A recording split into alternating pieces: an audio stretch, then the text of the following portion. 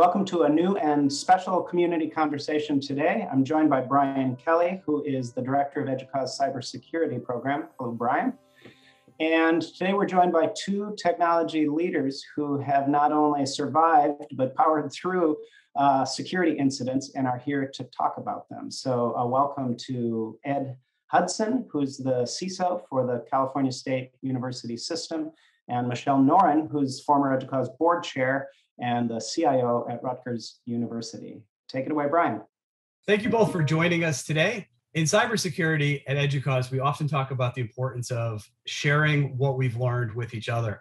And today we're going to talk about campus security incidents and what happened and what we learned during those incidents.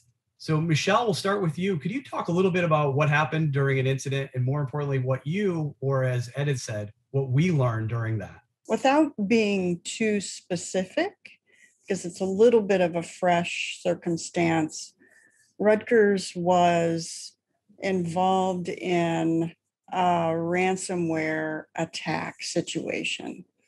Um, it did not affect our data per se, it affected data uh, of one of our partners, and but it did affect our our infrastructure. So we had a role to play in responding to the to the circumstance. Um, I will say that in my career, this is the first time I've been this close to that kind of a cybersecurity incident. For us, we we're the largest four-year university public university system in the country.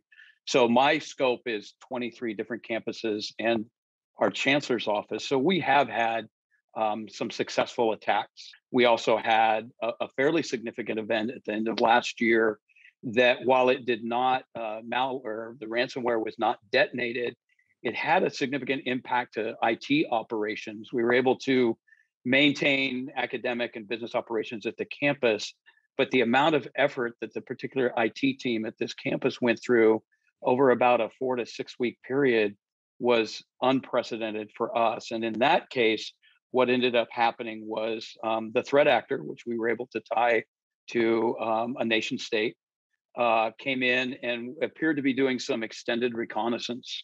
And so while the malware wasn't detonated, we found them in the system. The system, our, our protections that were in place alerted to them, but they came back several times. And so it was a very laborious process to root them out from where they were in the network, how they'd gotten in, and um, where they had gotten in and then you know trying to parse that out was was an extremely impactful event for us so i know ed uh, when your incident was occurring you you sort of took the time to step out of that that, that room and and let me know that you were experiencing mm-hmm. an incident and what you could share so that we could work to try to get that out to uh, sort of anonymously out to the broader cybersecurity community so that they could learn from your experience and I think that's hugely important when we talk about collaboration. So, you know, what takeaways are most urgent when we think about communicating to campus leadership and, and also across uh, institutions to our peers? Part of what happened when we were dealing with that event at one campus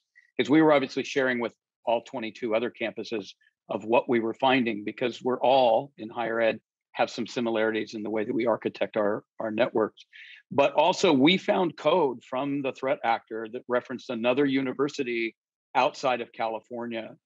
And so, while the campus was working that particular event, my job is to orchestrate the resources from a system wide perspective. And we thought it was important to get that word out to the broader higher education community with what we could share at the time and what we knew the threat actors' actions were.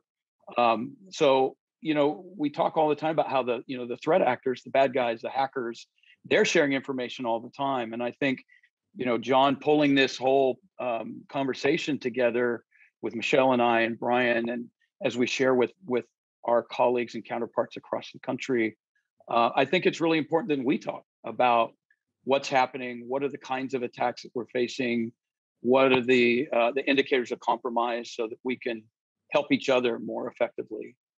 And Michele, do you want do you want to give us the perspective from the CIO's seat during uh, an incident? The the circumstances and the situation that um, that that we had, there were some there were some very fundamental key takeaways from that.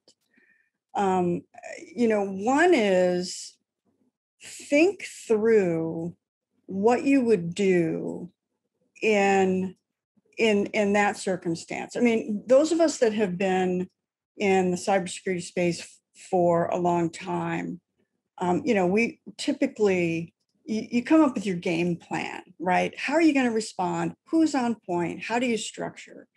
So there's a, a foundation of that um, that I think are, are important for some of these new threats, um, ransomware, any other kind of um, threats that come through.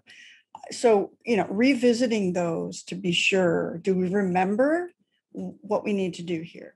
Secondly, these new situations, you know, like a ransomware attack, in my view, it is different. The players are different. You start in a different place.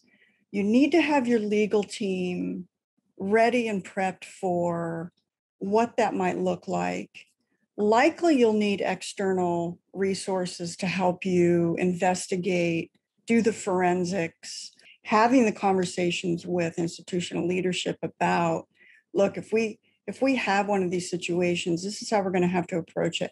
We're going to need leadership to engage, to think about things like the legal guidelines to be following here, um, what can be said, what can't be said. Are we going to pay a ransom or not?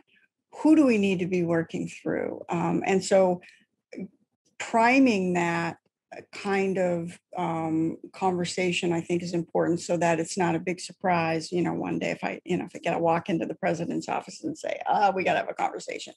So i think coming up with a blueprint or some kind of a, a, a playbook uh, specific to that circumstance i think is important. So i i would recommend you know doing a tabletop trying to understand how that looks working with other entities who've gone through it to say, hey, what'd you have to do? What should we think about? You know, who, who would we line up here? And just try to learn as much as possible so that you're not you're not caught off guard um, if if you ever end up in that kind of a situation.